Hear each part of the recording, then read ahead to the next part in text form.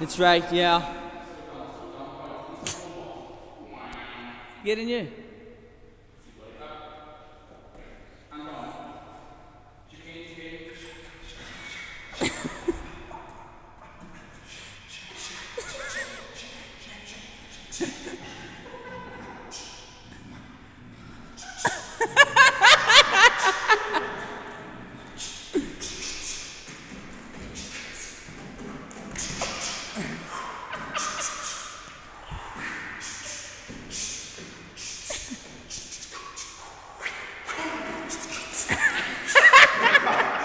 I love